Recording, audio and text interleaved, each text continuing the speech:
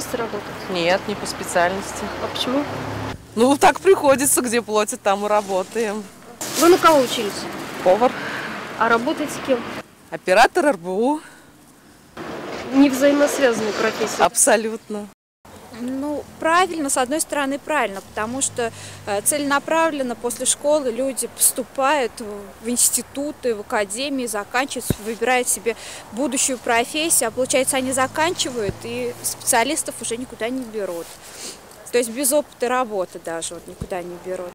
Ну, Насколько я знаю, в Германии там на кладовщика учатся два года, и без э, сертификации и обучения невозможно устроиться на работу. Вот представляете, у нас в России люди идут на кладовщика работать от безвыходности. Думаю, что да, скорее правильно. Почему?